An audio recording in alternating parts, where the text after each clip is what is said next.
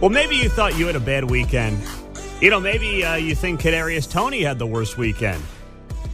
Well, I got someone with a worse weekend than any of you, than any of us, than Kadarius Toney, than the Chiefs wide receivers, and uh, that is the former staffer for Maryland U.S. Senator Ben Cardin.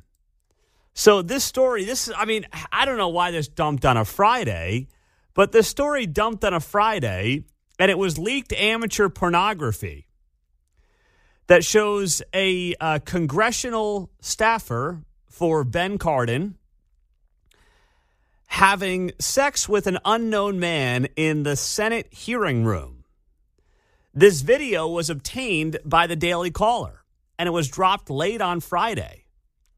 And not that I encourage anybody to go see the video, but uh, I'll read it to you here.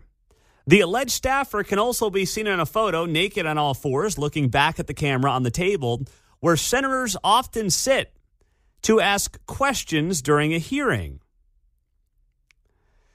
A source identified the room uh, as the Senate Room Hart 216, the Judiciary Room. The Daily Caller blurred out the face because the identity at that point had not been confirmed. But we did find out eventually that this uh, was a staffer who had worked for Ben Cardin out of Maryland. And one day after this took place, this video was leaked on Friday. By Saturday, this staffer was out. Sayonara, see you later, goodbye. So while we don't have 100% confirmation that this staffer is the person in the video, the staffer, whose name is Aiden Maese Czeropski, did put out a statement on Friday night and then was relieved of his duties for Senator Ben Cardin by Saturday. And in classic victimhood fashion in 2023, because this is what we do you go and you screw somebody in the Senate room, and somehow you become a victim. And by the way, you videotape it as well. But somehow you're the real victim here. So uh, this staffer, Aiden, who also happens to be gay. So if I didn't tell you that part of the story when I was getting the whole thing out the first couple of minutes, he is gay. So he was with another man in this Senate hearing room. He put out a statement on Friday night. He didn't unambiguously deny involvement. Instead, he wrote, This has been a difficult time for me, as I have been attacked for who I love to pursue a political agenda. I, How dare you? You have got to be kidding me. This guy goes viral because he's having sex in a Senate hearing room. And he turns it into somehow it's because he's gay. No, no, it's really not. I no, I, I know that those of you inside the Washington D.C. Beltway want to celebrate heathenism every turn you can possibly uh, get. But no, it's just wildly inappropriate what you did, allegedly. It's unbecoming of somebody who is given access to important buildings in the United States Capitol. And it shows wildly poor judgment, and it shows that you're not for the job. That's what it shows. It's not about you being gay. It's not about who you love. It's not about pursuing a political agenda against a Democratic staffer. No, that's not what any of this is about. You know, I've been to DC, I've dealt with many of these staffers, and yes, there's a lot of young people there who maybe don't have the best judgment at times. That's often the case with many young people. And these staffers are oftentimes on the younger end, especially interns and things like that. It's one thing to have poor judgment. It's another thing to come to the conclusion, as I think he's about 24, 24 year old, that uh, you're going to videotape yourself having sex in a Senate hearing room and risk the possibility that that gets leaked out. So, uh, this staffer, Aiden Maese Zaraposky, also puts up while some of my actions in the past have shown poor judgment. Oh, talk wow. about a bombshell. I love my job and would never disrespect my workplace, he says. He says he would never disrespect his workplace. after an alleged video of him having sex with somebody gets leaked out to the media in a Senate hearing room. Any attempts to characterize my actions otherwise are fabricated, and I will be exploring what legal options are available to me in these matters. Let's see if he can get fitted for a size seven jumpsuit in orange. right. That's right. We're going to see what legal options are available to him, aren't we? Yeah. You know what? Uh, what a pair of stones, huh?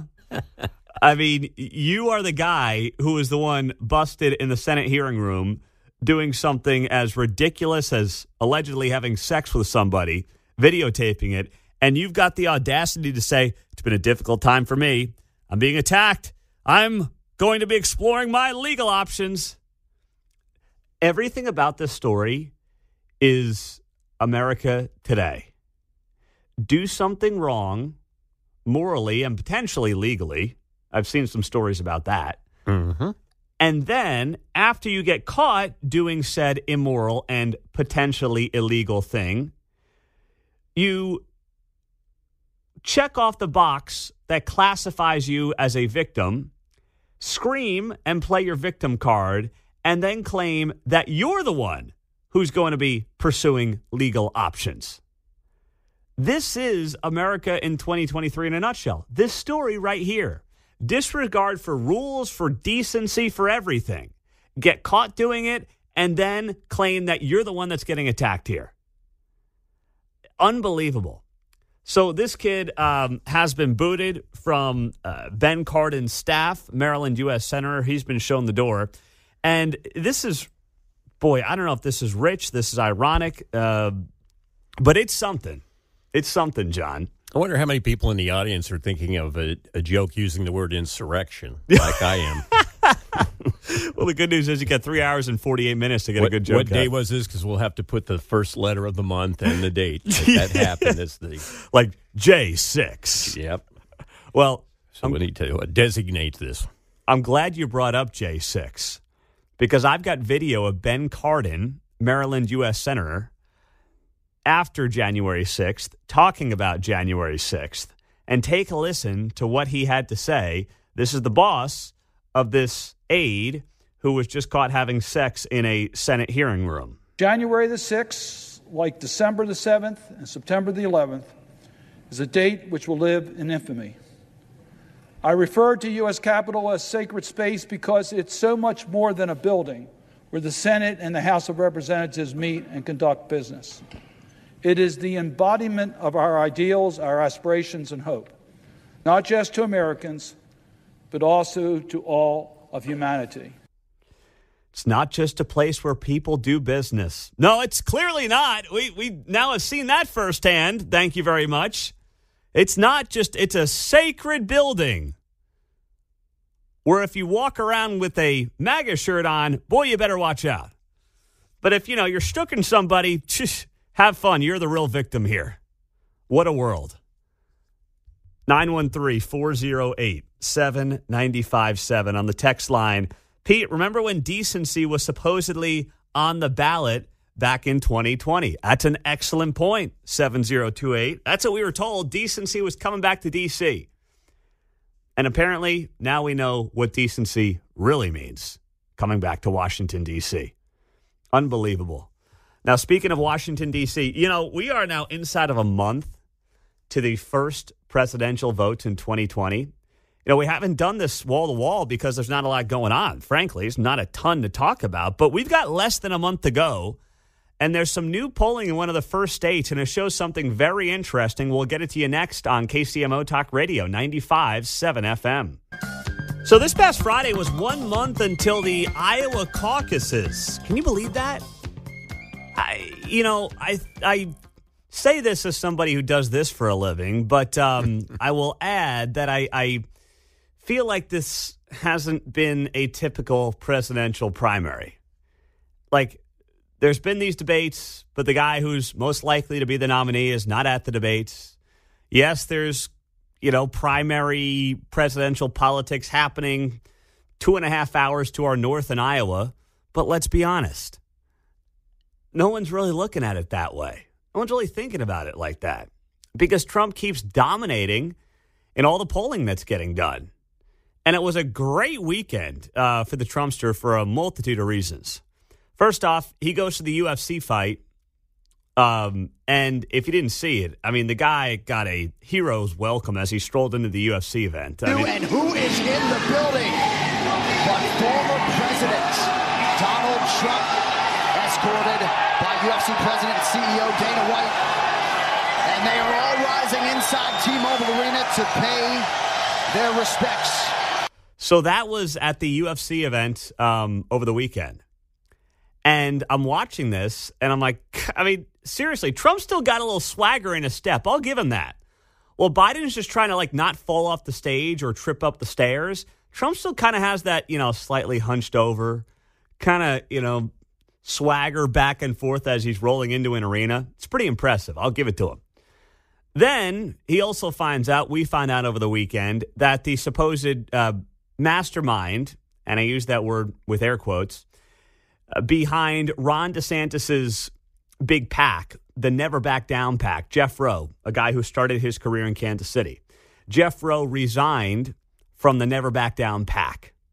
This is an operation that had hundreds of millions of dollars to spend on behalf of Ron DeSantis. It was supposed to be part of the reason that Donald Trump was not going to be the nominee. And Jeff Roe, who is uh, the biggest name in Republican politics when it comes to running campaigns, he's the president and owner of Axiom. Um, all the big races typically have an Axiom candidate in them. Here in the Kansas 3rd District, Amanda Adkins, the last two cycles, Axiom candidate. Uh, you know, he did Ted Cruz's 2016 presidential campaign. That was kind of his coming out party, I guess you would say. He ran Glenn Youngkin's campaign in Virginia. Anyway, big piece in the Washington Post over the weekend talking about how this DeSantis campaign flopped. And within hours of that piece coming out in the Washington Post, Jeff Roe announces he's out. So that's also good news for Trump. And then last but certainly not least, more polling. This from Fox News showing that Donald Trump's support in the Republican primary has gone up from last month. So, right now, 2024 presidential nominee preference amongst Republican voters, this is nationwide, it's not in the state, it's nationwide, shows Donald Trump now at 69%. In November, he was at 62%. Ron DeSantis is in second place at 12%. That's down from 13% last month. Nikki Haley, down from 10% to 9% this month.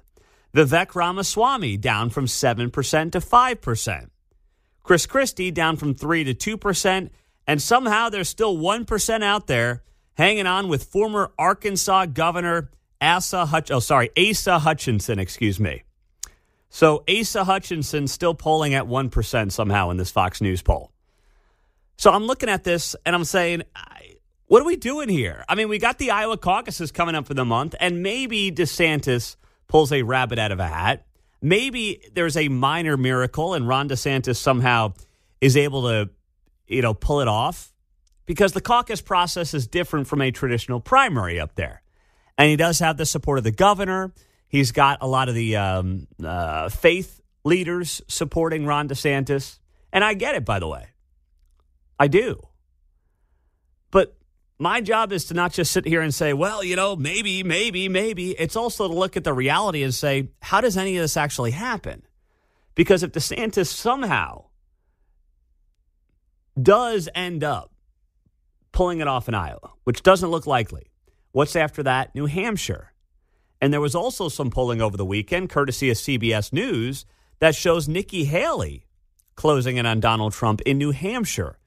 It shows Trump at 44%, Nikki Haley at 29%, and Ron DeSantis all the way down at 11% in New Hampshire. So even if DeSantis does, del- does well in Iowa, he's going to lose all his momentum by New Hampshire, which is the second state, and that primary takes place on January 23rd.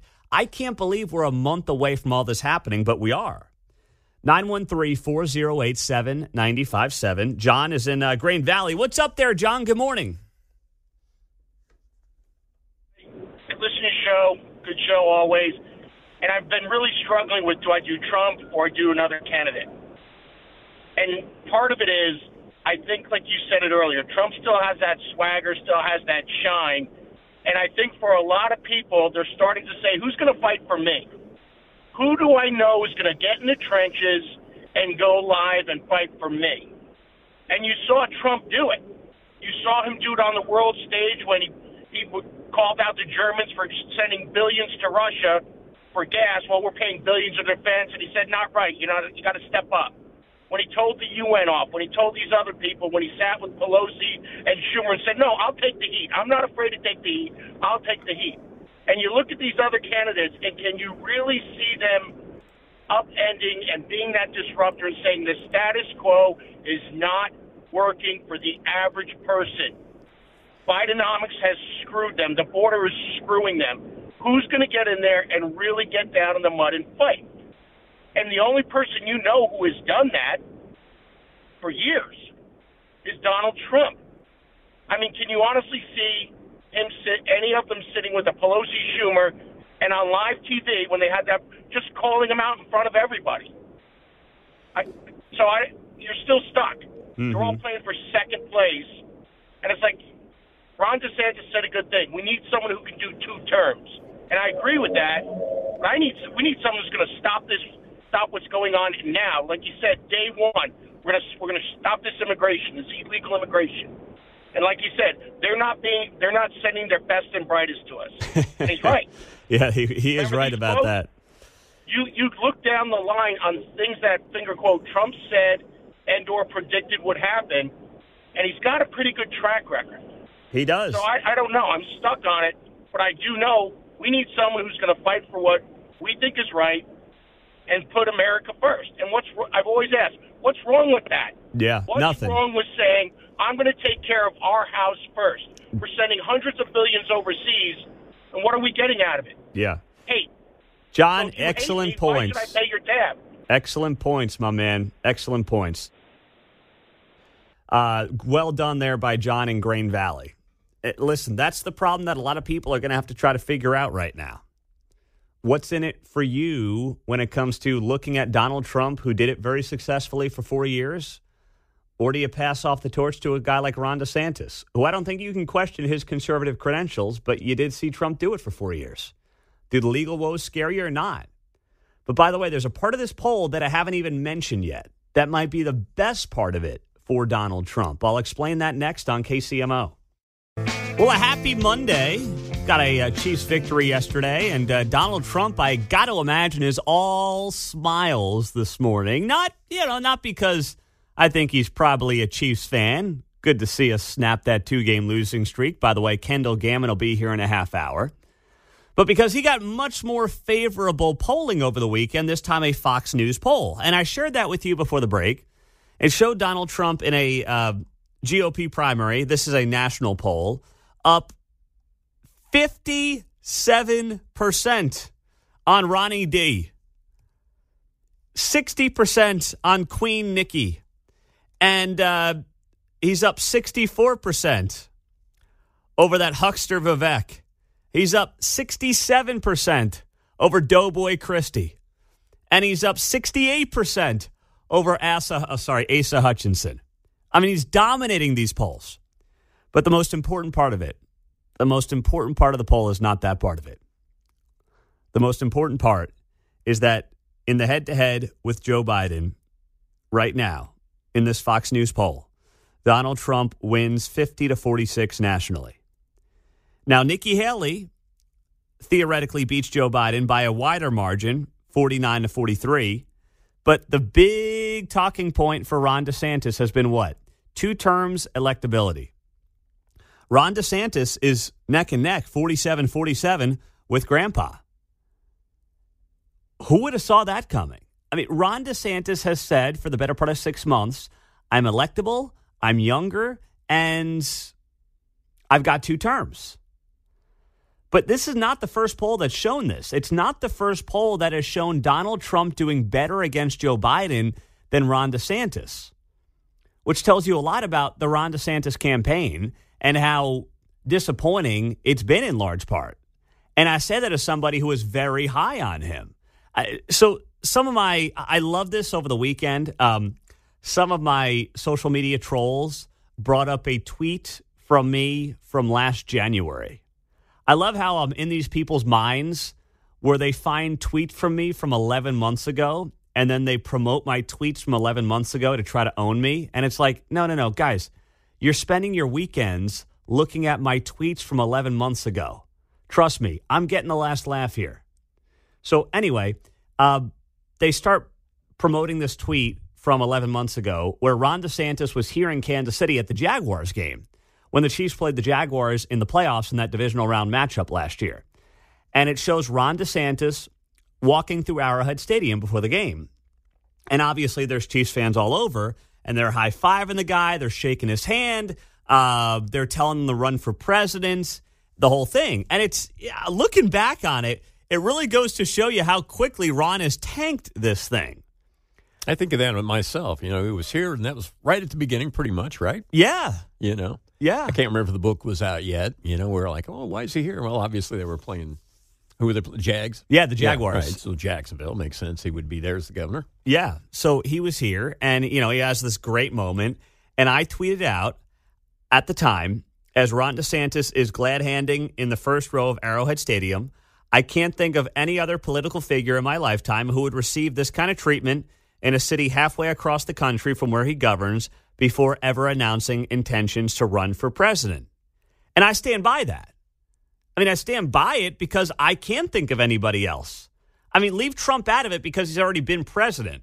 But I mean, somebody who's just a governor, who's just a run of the mill politician getting that kind of response.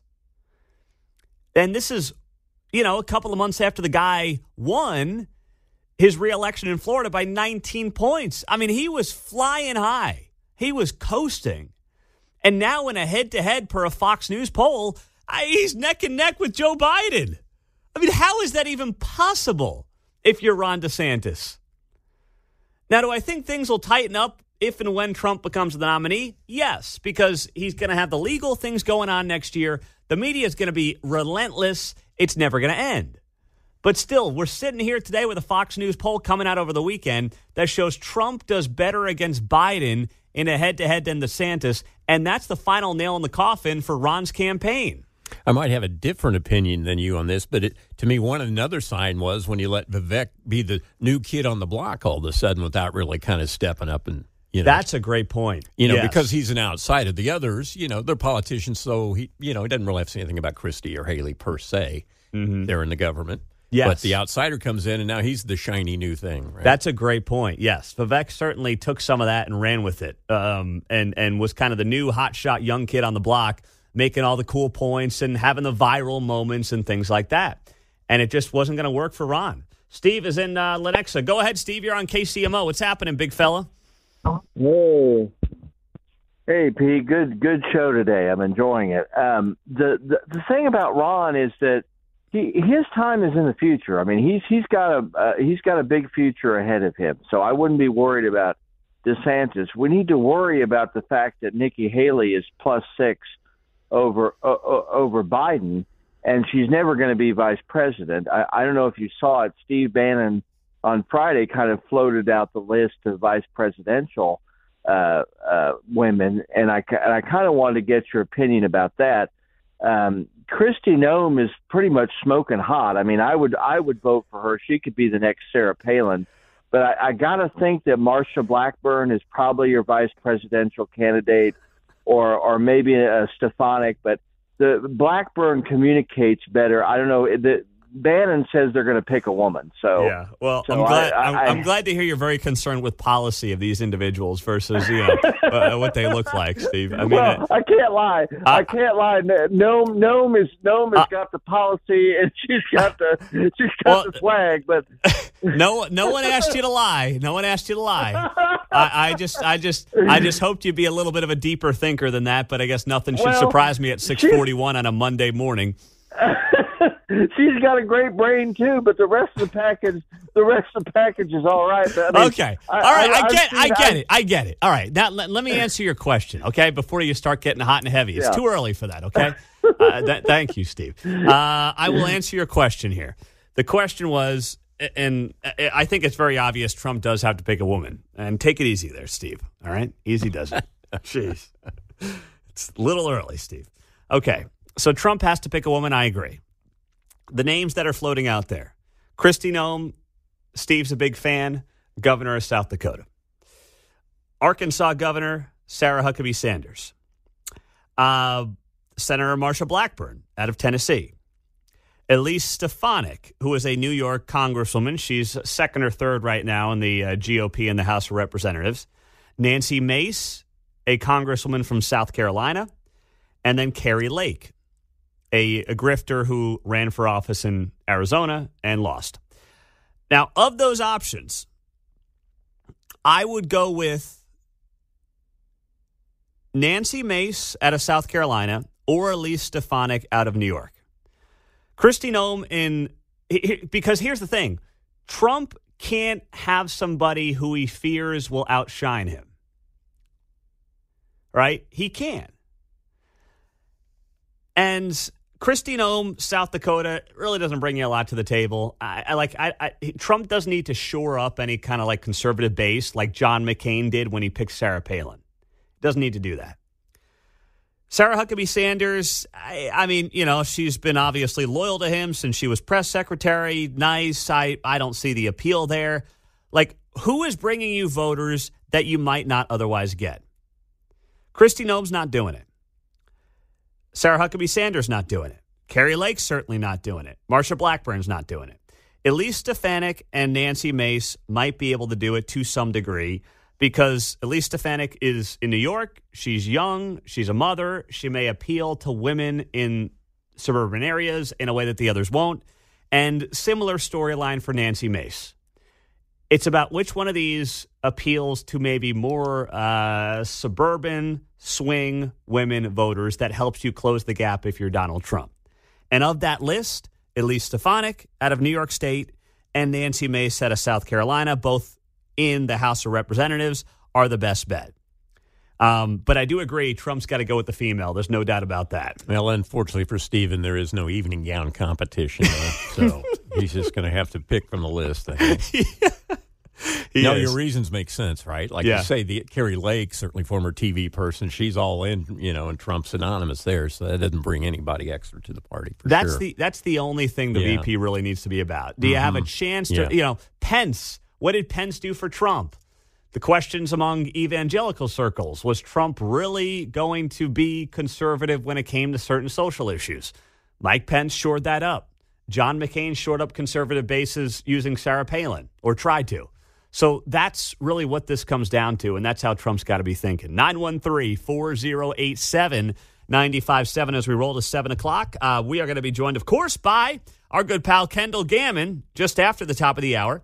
Talk about the uh, Chiefs win over the Patriots yesterday. Coming up next, uh, this story of this of this mayor doing something outwardly racist matters. And I'm not going to let it go, and I'll explain why next. Uh, interesting tweet here, or text I want to share with you 913 408 7957. That's our text line and our studio line on 95.7 FM KCMO Talk Radio. Uh, Pete, best, best VP pick for Trump is Vivek Ramaswamy. At first, I said, that's insane. The guy's, you know, just been a clown in these debates. But then I thought to myself, after seeing that text, maybe that texter's onto something because it actually would soften Trump to have a guy as smarmy as Vivek Ramaswamy as your running mate. So it might not actually be the worst idea. But then the texter says next VP pick should be Kari Lake. What has Kari Lake done? Outside of Kiss the Ring, like what has she done? What does she do? Who does she secure for you? How does she make your boss look better? She does none of the above. She barks louder than DeSantis. I guess. You know, if you I- a lot of people like noise. They like the noise. So I- there's that whole thing with her. here's the thing though, John. With Trump, you get plenty of noise. Oh, I understand that. That's why they like her. you know.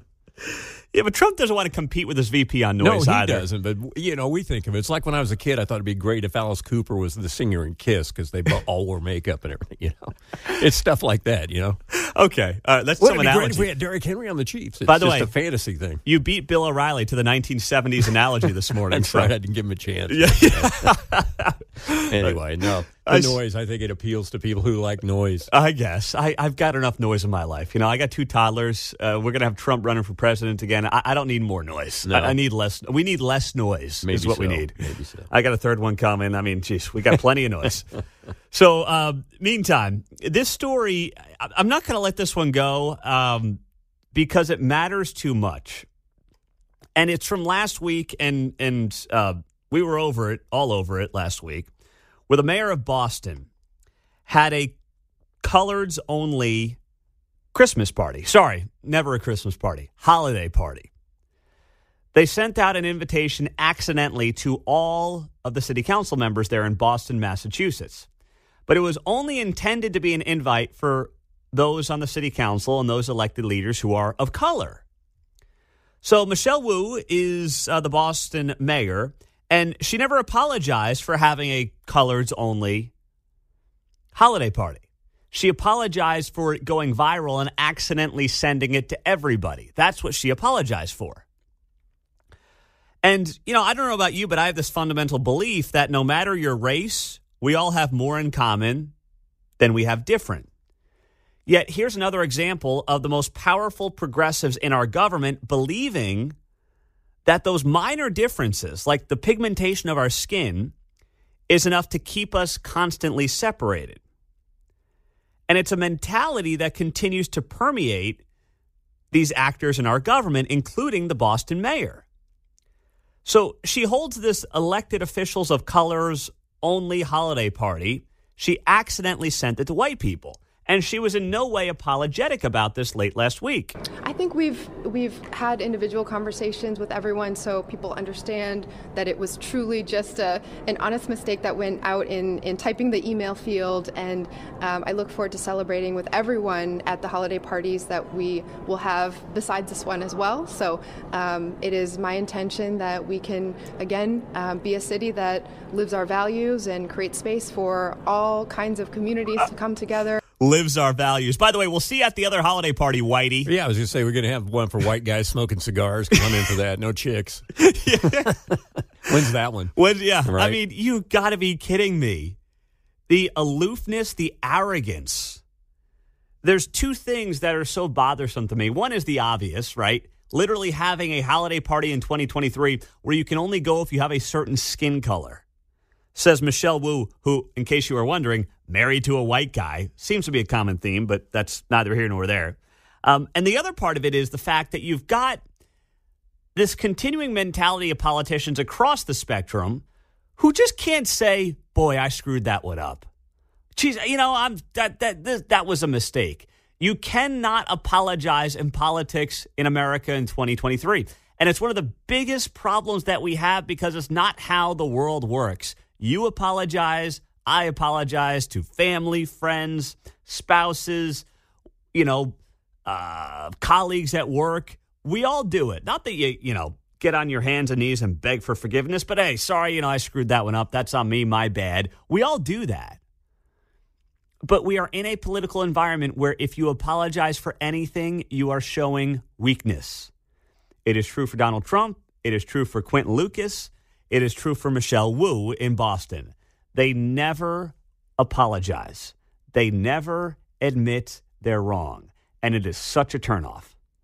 And I'm telling you right now, I don't know what election cycle it happens, when it happens, but somebody's going to come along here in the next couple of cycles who's actually going to be like a human being, who's going to do some of these things that aren't real popular right now that nobody wants to do, and it's going to work. I don't know who, I don't know when, I don't know what the tipping point is going to be and what it's going to take.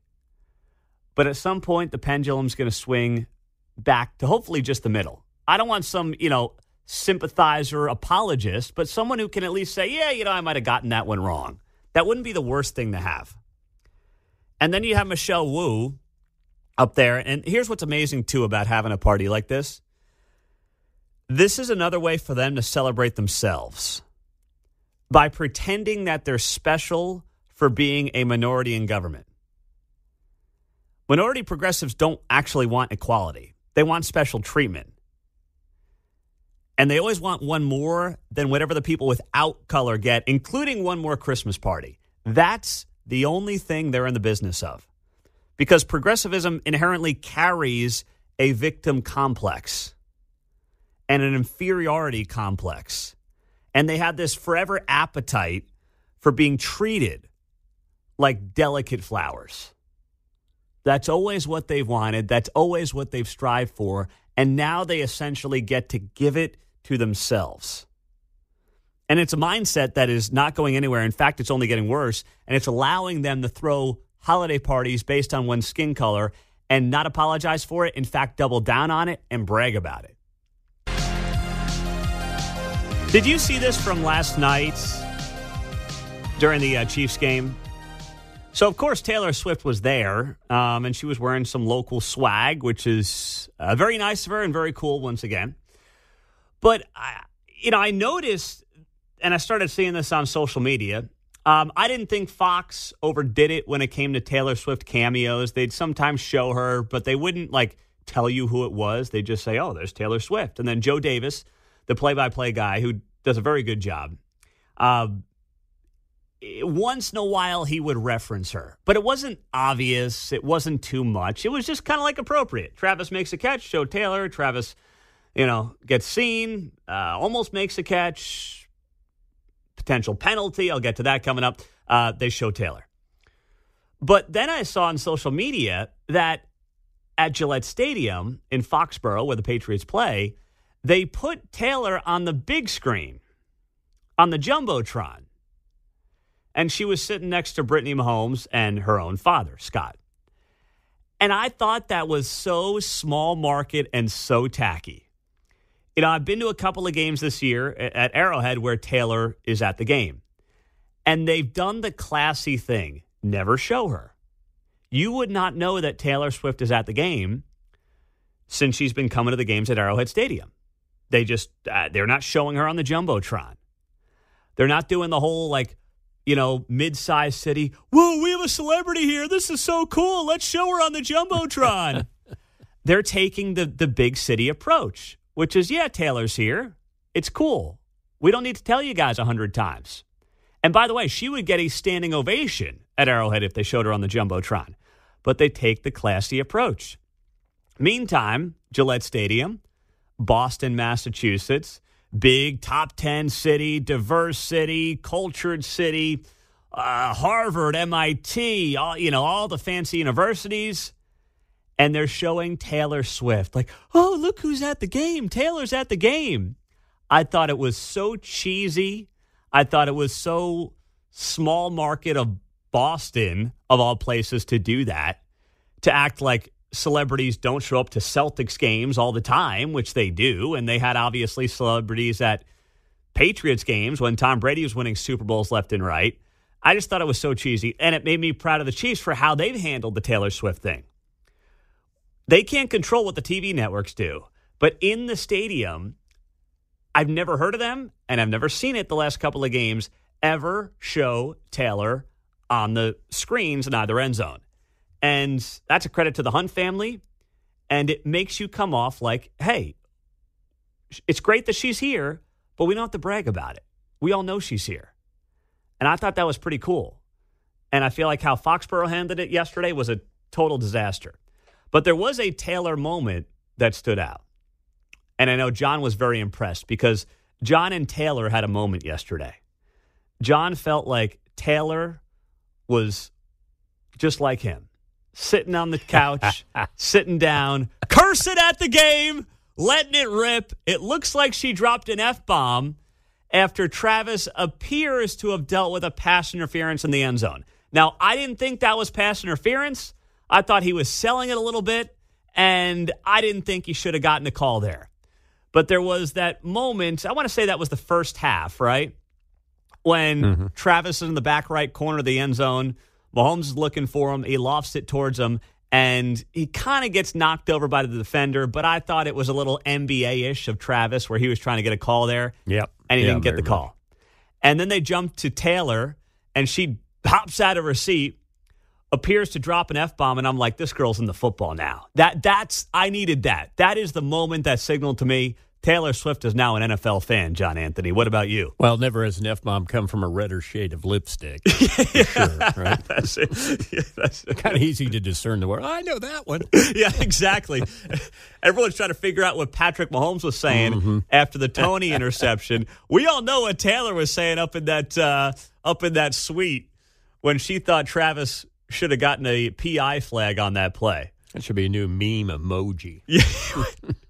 Well, if you saw it when she was named Time Person of the Year, there was that quote, and I'm paraphrasing it here, where she basically said, I don't care if the Chads and Brads are upset with me for being at games and the TV network showing me. Basically saying, like, all the guys who were like, stop showing Taylor at the game. She was basically saying, I don't care if they're upset. Well, all the Chads and the Brads are now suddenly big Taylor fans because when she's jumping out of her seat, dropping F bombs at the refs, I mean, she's now one of us, man. She's all in. And I, I that's why I said Taylor said in that Time magazine piece that she didn't realize how much she missed football. Like she wasn't a football fan until she started dating Travis. And she's now a big fan. She said as much. And I I love that about her. I love the fact that she's come around to the NFL and she's becoming just a, you know, a diehard fan, John. Yeah, she's got next quarter on the pool table. so, I mean, she's like us. she she before you know it, I mean, she's gonna be you know slamming beers at the local bar, hanging out, uh, doing a little pool, doing the whole thing. Uh, you know, we're gonna see her right here in town at some dive bar with Travis, just having a grand old time, and I'm gonna be here for it, man. And I'm gonna say I told you so. She's turning the corner, and it's by the way why I think she will stay away from the 2024 election. I do not think she's going to get political. I think she's realizing she's better off staying away from it. I know she got political six years ago. But guess what? She's 34. People grow up, people mature. People realize where they should not try to influence things. And if you're Taylor Swift and you've got a growing audience in the heartland of America, stay out of the election. There's nothing to gain. And I think she's going to do it. I don't think she's going to come anywhere close to it. 913 408 7957 news in two minutes. Well, we teased it um, all weekend long. Coming up in 10 minutes, we've got a chance to win tickets to see Dr. Jordan Peterson, who's going to be at Cable Dahmer Arena coming up in February. So that is uh, 10 minutes away. It will be a text to win contest. We'll give you that text to win keyword as you get a chance to win every day this week at 8.45 and then again at 11.45 with ray stevens so dr jordan peterson tickets coming up john I need to go to that. Hopefully, some of that would rub off on me. The guy's cool as a cucumber when people are coming at him, right? oh he's so look at- good what makes you say that? He'll Yes. just a matter of fact, you know, if you watch his stuff on youtube it is just gold man he doesn't like get upset. No. you know, and that's what they want, you know. So Yes. and then he's just sincere. What makes you say that? You know, make you defend it. with- Yes. without attacking you. what makes you say a man can magically be a woman one day you know Yeah. and then they suddenly are fumbling and mumbling and bumbling over Yeah. themselves and boom he wins so he's going to be a Cable Dahmer in February. We've got tickets coming up here in 10 minutes on KCMO. So we'll give you a text to win keyword, uh, and that is 10 minutes away. All right. Now, the big story coming out of the weekend was this Senate staffer who was intimate. I'm trying to use, you know, in the 6 a.m. hour, I was a little more direct. But, you know, now we got kids in the car, you're running errands. So I'm trying to just, you know, do this the right way and make sure I'm kid friendly. Kids are up, you know, they're off this week. And I, I don't want to have to make you change off a 95-7. But the Senate staffer for Ben Cardin, who is a Maryland uh, Democrat senator, allegedly, although it's not even really allegedly anymore because he resigned and he basically admitted to it in a statement he put out, took a video that was leaked by the Daily Caller that was shared in a private group for gay men in politics of this staffer uh, sleeping with another man in a Senate hearing room. So this went viral on Friday night. And uh, the staffer was let go the next morning. But the media reaction to this and the way the media's covered this, pretty astounding stuff. Let's start with NBC News.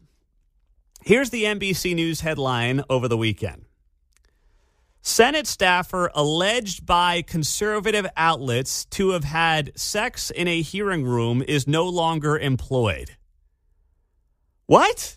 Senate staffer alleged by conservative out No, no, no, no, no. There's a video. I'm looking at the guy. Well, I'm really looking at the back of somebody in a Senate hearing room.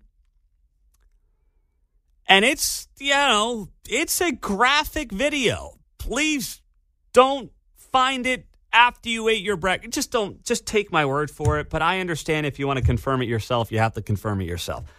But no, I've given you full warning on what's to come. It is the video of a guy's back in a Senate hearing room doing their thing. And the NBC News headline is Senate staffer alleged by conservative outlets. There's nothing that's alleged. I'm staring at a video, and the guy resigned the next day. And then the guy who is alleged to have done it put out a statement not denying it. Instead, the statement that the staffer, Aidan Maese Czeropski, put out on his LinkedIn page on Friday night read, This has been a difficult time for me as I have been attacked for who I love to pursue a political agenda. Oh, come on. How dare you. Please, enough with that. You- You're not being attacked because of who you love. You're being attacked because you're a staffer for a United States Senator and you're filming yourself sleeping with somebody in a hearing room where, like, important things happen.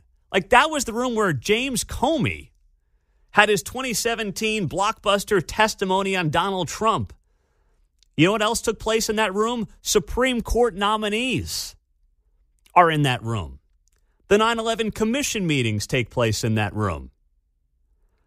And this guy is, you know, screwing somebody, for lack of a better word, in that very same room, filming it, sharing it in group chats, and then saying, I'm the victim here. Uh, no, you're not the victim. I promise you, you're not the victim. Although, you know what? There's been a lot of screwing of the American people in that room for a long time. So maybe this is just kind of, you know. We now have it on film. yeah, exactly right. Said the old man. Video. So here's how Politico, here's another uh, gem of a media headline. This is how Politico covered this story over the weekend. Cardin staffer linked to sex tape leaves Senate. Linked? Wait, linked to sex? I mean, no, it's literally his tape. He's not linked to it. He is the tape. The tape is his. He put out a statement Friday night and did not deny the tape was his and left his job, was let go from his job, however you want to frame it, on Saturday. Linked to that is uh, quite a rich use of the word linked. Pete Mundo linked to show Mundo in the morning on KCMO Talk Radio. No, th- th- there's the show is mine. It happens to have my name on it, so I am not linked to the show. I am. This is are my show. I, this is unbelievable gaslighting by the media, but it's also very much on brand and par for the course. But even by their standards, I didn't think they would go to the well to defend a guy who is filming amateur pornos in the Senate Judiciary hearing room. I, I, I, I always thought that there was a line that they wouldn't cross, and I kind of figured Dem staffer filming amateur porno in hearing room wouldn't be a line that they would cross to try to protect somebody because of their political affiliation. But nope, I was wrong. I, I'm wrong once again. I'm happy to admit it. Fine. Okay. Wrong. Yep, I got that one wrong too. Because even I sometimes think there are going to be standards upheld by the media. But, you know, shame on me for thinking that. And I do always oftentimes think to myself, imagine if the shoe was on the other foot. Oh, wait, I kind of can. Somewhat similar. I mean, can we start? We don't know the day of this video. We don't know when exactly this uh, intimate moment took place. We just know it got leaked last Friday. But I think we have to give this a day, kind of like January 6th becomes J6. So uh, let's just throw out a date. Let's say this was, uh, I don't know, September 26th. Should we start doing S26 and refer to this as a day of American infamy? uh, I, I mean, you know, we might as well. Uh, there are people who like to do that all the time, a day that will live in infamy. And by the way, Ben Cardin, the U.S. Senator from Maryland, who had this guy on his staff, he said this about January 6th, which I find awfully ironic now in the wake of what his own staffer was allegedly doing in the Senate Judiciary hearing room. January the 6th, like December the 7th and September the 11th, is a date which will live in infamy. I refer to U.S. Capitol as sacred space because it's so much more than a building where the Senate and the House of Representatives meet and conduct business. It is the embodiment of our ideals, our aspirations, and hope, not just to Americans, but also to all of humanity. Wow. What do you think of that, John? I think OSHA would advise some hand straps and safety rails because it's a long fall from the moral high ground, isn't it? Oh, it so is. It so is. 913 408 7957. I want to hear from you. Just keep it, uh, keep it as PG as you can on the text line or on the phones this morning. You know, Garner's holding down the board. He's doing a great job in place of Mark, but I don't want him hitting the dump button for the first time in his KCMO career. Do you know where it is, Garner? You know where that dump button is? I do. Okay. I am. Uh, I am. I am trained on the dump Okay. button, so uh, no worries. Okay, good. All right. We got Garner all up to speed on the dump button. That's the first step here. Uh, 913 4087 957 on a Monday morning, 844. Welcome in.